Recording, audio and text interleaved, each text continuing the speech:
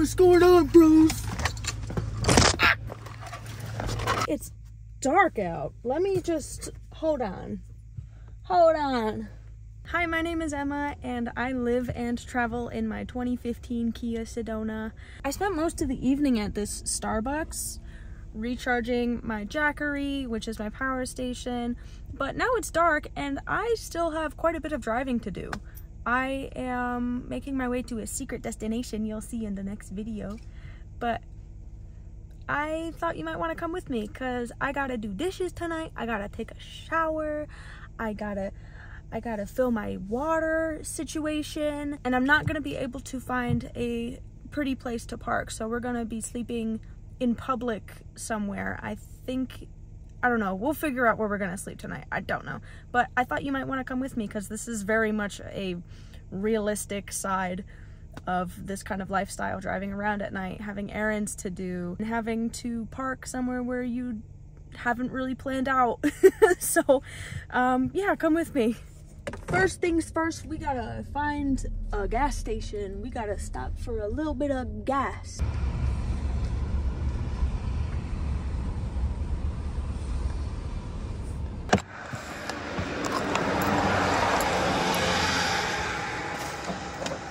For those of you who don't know, I am from New York State, and in New York, these these little flaps here to help just hold so you don't have to use your hands.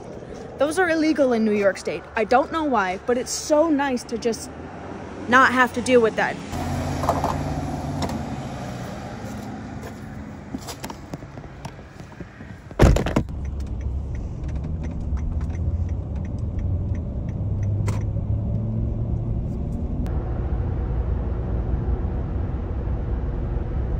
I'm actually kind of tired, so I pulled off at this gas station on the side of the highway and I'm gonna quick put up my window covers and then drive across the street to the truck stop that I'm gonna sleep at because I decided that I didn't want to do all that tonight and I'm just gonna sleep at the truck stop.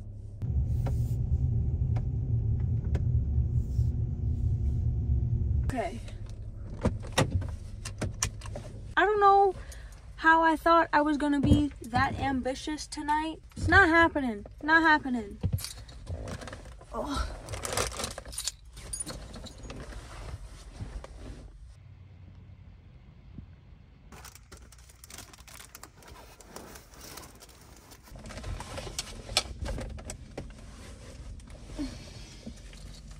I'm gonna drive up closer to the truck stop entrance and use their restroom and stuff. I've got pretty pretty bad anxiety this morning. But here's the thing, I'm also hungry. Normally, if I'm sleeping at a truck stop or at a rest stop or anything like that, I don't like to use it. I'll park there, sleep, and then move and go somewhere else to go use the restroom or get a coffee or something but if I am gonna do that, I will move to park directly in front of the building itself because that's where the cameras are. Probably most concentrated, I don't know. Safety. All right, let's go.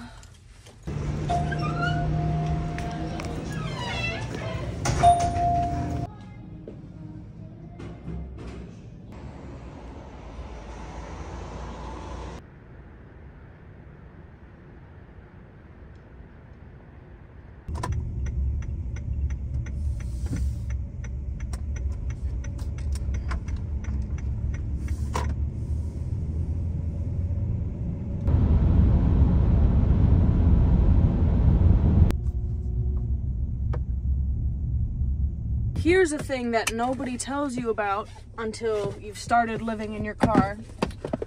Preparing the shower bag. It's it's kind of a lot.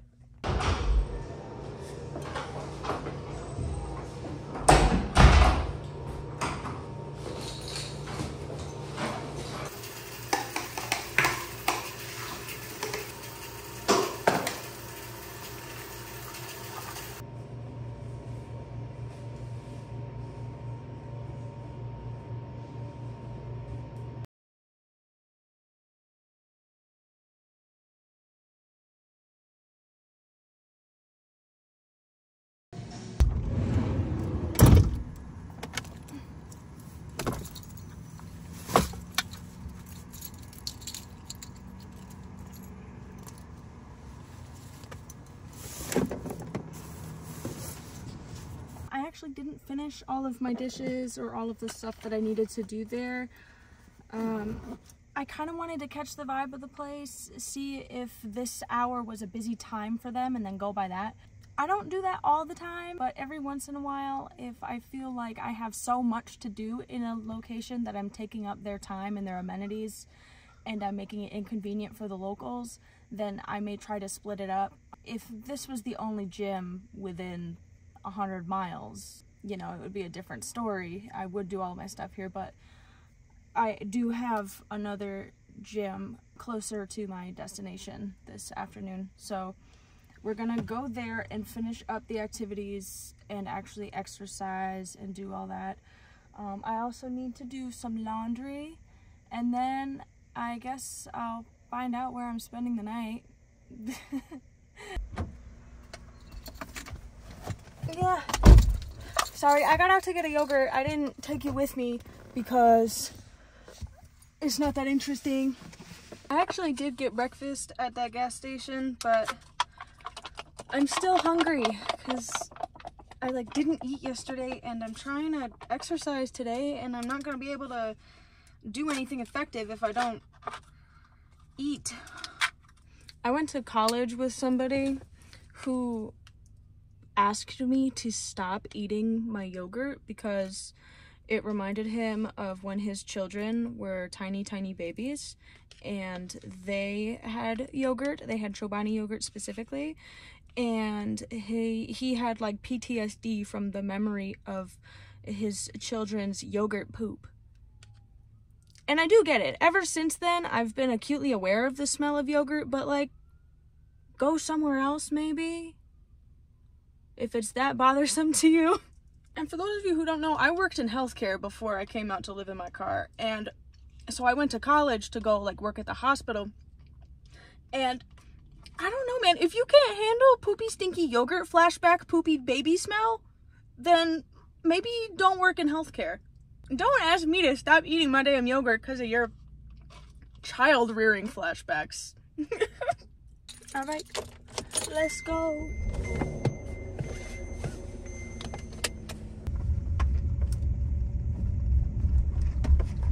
I am stopping for gas, if I can make this turn.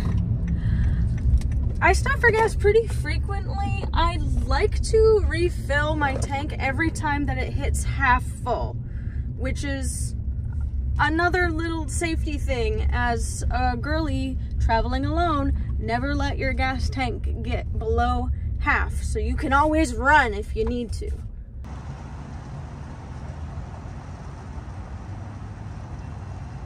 Is it, I'm just wondering if it's legal to park overnight here, like in a minivan? Like, To see. if you do, right here along this back Okay. parking lot. Okay. I'm just laying out options. I'm not sure No, if I fine. actually will. But, um, you'll see the parking spaces right up against the bushes right there. gorgeous. Just right there. Gorgeous. Thank that you way, so much. you know, I appreciate you. not a problem. Thank you. So I just went in to ask the lady if I could park at that gas station overnight. Just in case that I can't find anything else, I just want to have a couple backups in mind because it seems like this town is not very lenient towards people parking overnight. There are a couple Cracker Barrels here, and I know that Cracker Barrel as the company is okay with it, but I don't know if the town is. I think that this is one of the rare areas where a Cracker Barrel is not the best place to be at night. But yeah, we're just checking things out so that come 6, 7 o'clock p.m. tonight, I might be able to find somewhere to be.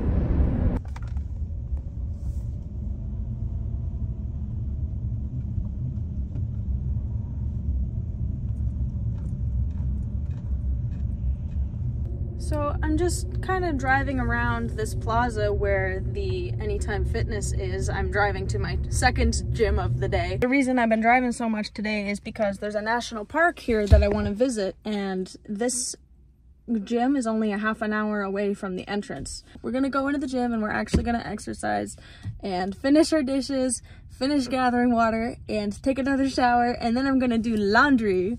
So it's gonna be a good time.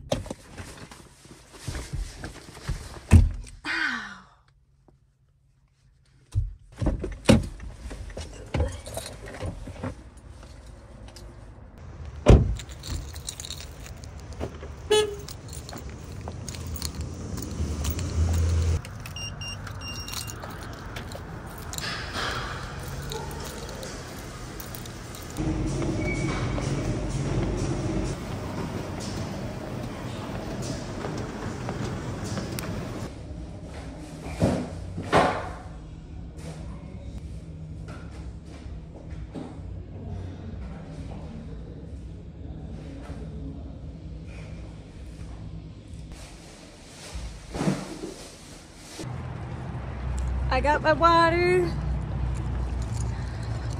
I am hungry.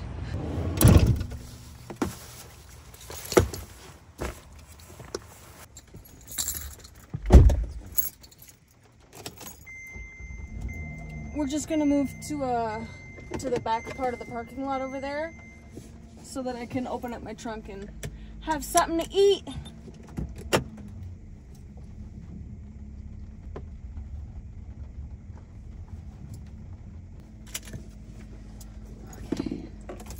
Lunchtime.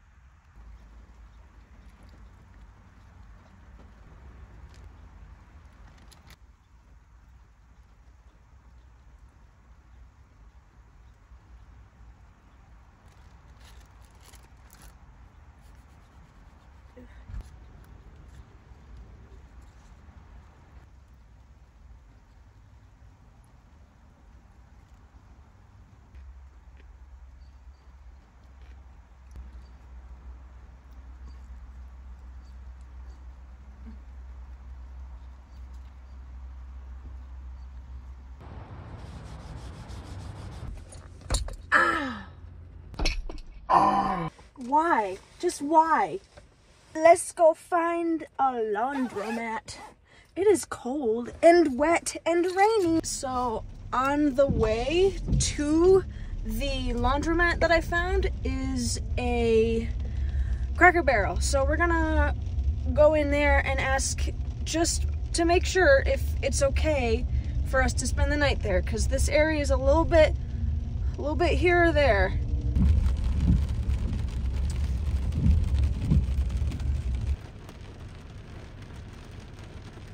I've actually never been inside a Cracker Barrel, so let's go run in and ask one of the people in there if it's okay if I stay the night. Oh, it's raining hard.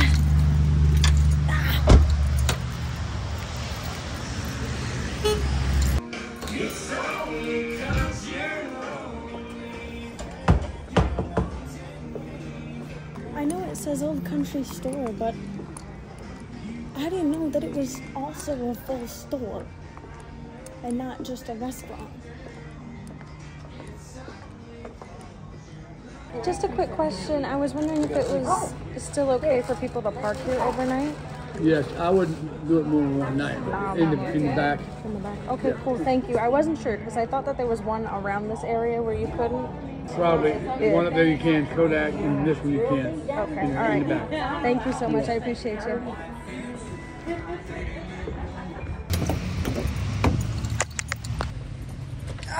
We are good to go. I was right though. There's um one or two other Cracker Barrels around this area that you cannot park at. So cool. I've got a place to sleep.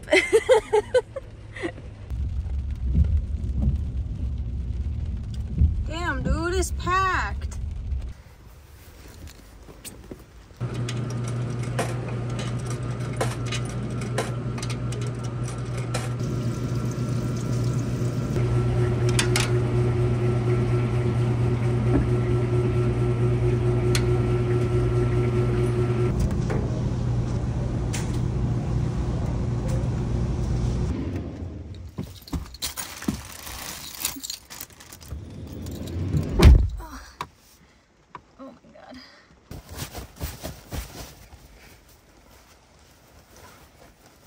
Laundromat was really cheap. It only cost me $3.75 to wash and dry my clothes, which was really nice. I'm not used to that.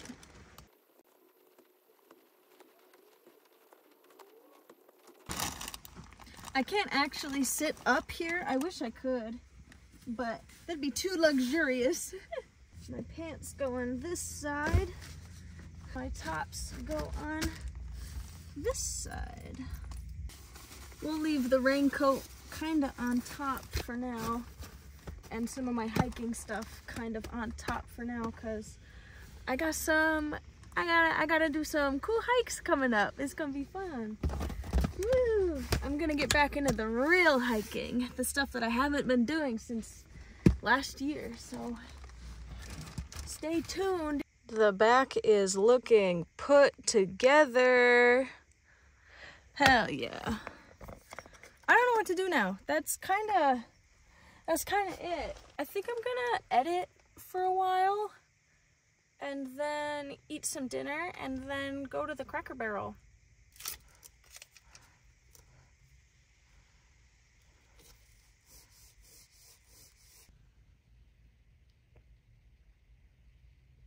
I kept hearing all these birds outside. Check it out.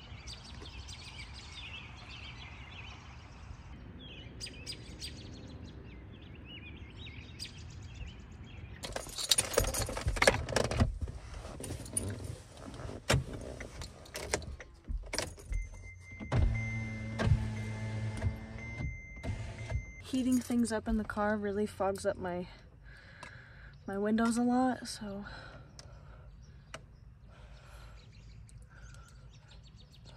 I just finished up my chili. Um, unfortunately, living in the car, food has totally lost its joy. I do say that while I am eating Moose Munch from Christmas.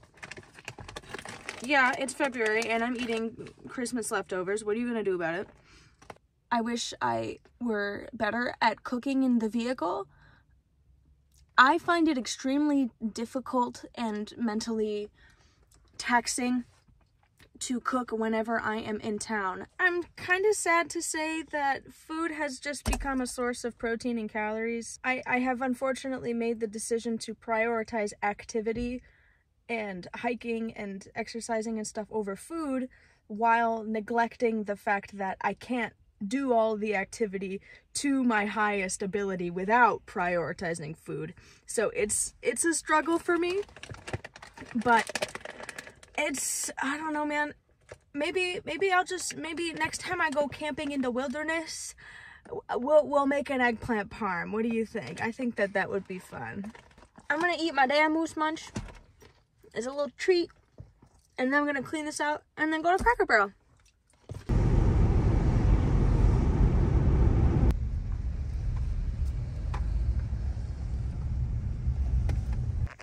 So I bought this um, dehumidifier at Walmart. Oh jeez, for like $44. I hope it'll be worth it because it's been wet and rainy for the last four days and heating up soups and stuff has made the windows a little bit more prone to condensation.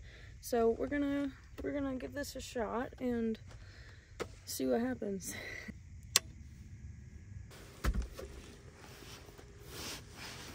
I'm probably gonna have a pretty early day tomorrow, so I brought out all of my um, breakfast essentials for a fast meal, and I'm gonna bring out my hiking clothes because I'm going on a destination hike tomorrow, and I'm really excited. But we are gonna be in black bear country, so stay tuned, my dudes. Stay tuned just a side note on a couple things. I realized that there were a couple loose ends in my video. I talked about being anxious this morning. Food did help with that for me. I gotta have a nice high protein meal and then go exercise. If I don't move and if I don't eat right, then the spiral into anxiety and insanity is fast. So I made sure that I kind of got myself taken care of today, but tomorrow is a whole new day and we got to do it all over again tomorrow. but anyway, yeah, the anxiety was better after food and exercise. But oh, the other thing. Oh, I didn't show you um washing my spoons at the second gym because I forgot to. I still have to do that. but anyway, Thank you for watching. Please take care, stay safe, and I'll see you on the next one. Bye bye.